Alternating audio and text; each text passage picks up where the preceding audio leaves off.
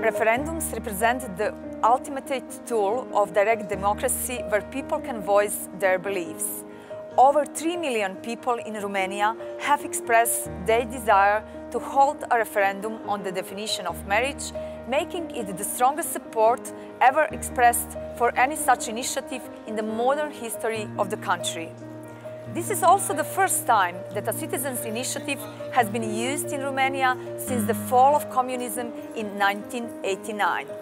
Although one might have believed that such a strong expression of the will of the people would not go unnoticed, the organization of the referendum has been repeatedly postponed without any explanation, thus ignoring the efforts of 3 million citizens.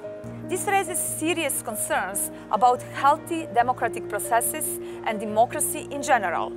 Being myself from a country that has successfully organized such a referendum, I fully understand the importance of it, not only for the sake of maintaining high democratic standards, but also showing respect for your own people. Romanian politicians, listen the voice of your citizens. Organize the referendum on marriage.